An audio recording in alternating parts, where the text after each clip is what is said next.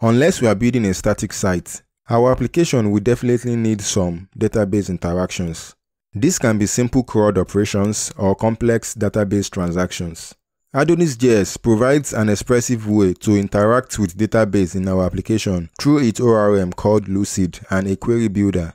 Unlike in Adonis.js 4, Lucid is not installed in our application by default, so we need to install it. npm install at adonis.js slash lucid. While Adonis.js 5 ace in preview, all its packages have been tagged alpha, so we need to install the alpha version of Lucid at alpha. Once installed, we need to set it up. For that, we'll be making use of the invoke command node is invoke at adonis.js slash lucid.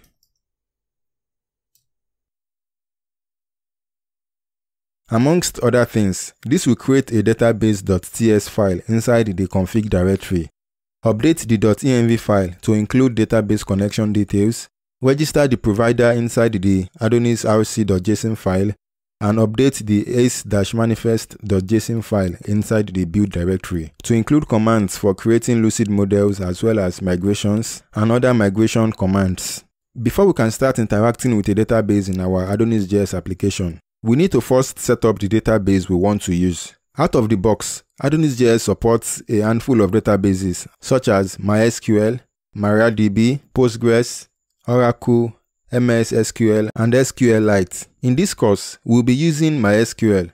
So let's install the MySQL driver for Node.js. npm install MySQL. Let's take a look at the database.ts file.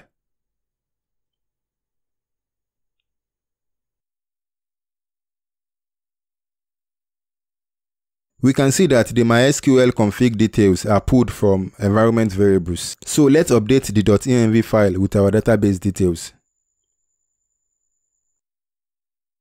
So we'll change the DB connection to MySQL. My DB user is root and my password is blank. Then my database which I'll be using for this course is tax east which I have created behind the scene.